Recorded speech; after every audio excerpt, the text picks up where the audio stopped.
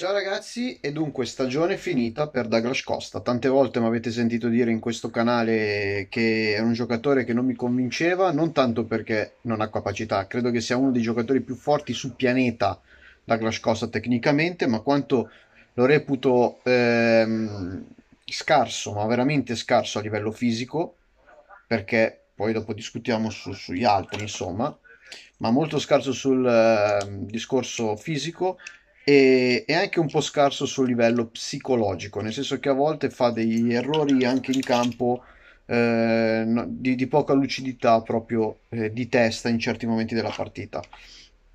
Che dire, è un giocatore che purtroppo chi ha voluto puntare su di lui ha sbagliato, non tanto sbagliato averlo in rosa perché secondo me è sempre stato un ottimo spaccapartite, ma quando parlo di puntare su di lui parlo di qualcuno che tipo Mister Sarri che quest'anno ha detto di volerci puntare su di lui anche come titolare. È evidente che Costa non possa mai fare il titolare in una grande squadra per due motivi. Uno perché come ho detto prima è troppo fragile. Due perché è sempre stato un giocatore da partita in corso. Tutte le volte che ha iniziato dall'inizio ha fallito miseramente.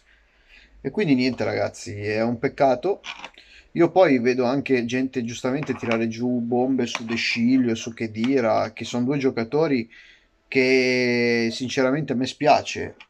Però la differenza tra loro due e Douglas Costa è che quando loro due sono integri, la differenza l'hanno sempre fatta.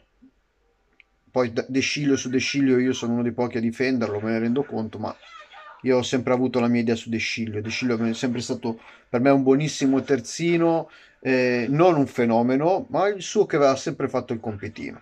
E che dire invece secondo me è, un fenomeno, purtroppo fisicamente è arrivato alla frutta, ma ci arriva alla frutta a 35 anni. Douglas Costa a 28 anni sembra che abbia il fisico di uno che ne abbia molti di più. Ecco, io credo che Douglas Costa sia da vendere il prima possibile, cioè se, se trovi un'offerta un po' decente devi, devi, devi darlo via perché adesso cioè, va bene tutto, come io credo che si riscinderà su, su, con Chedira, non credo che si piazzerà De Sciglio perché non credo che ci sia la possibilità di piazzarlo, ma da Gross Costa ragazzi va dato via perché oggettivamente abbiamo superato il limite della decenza.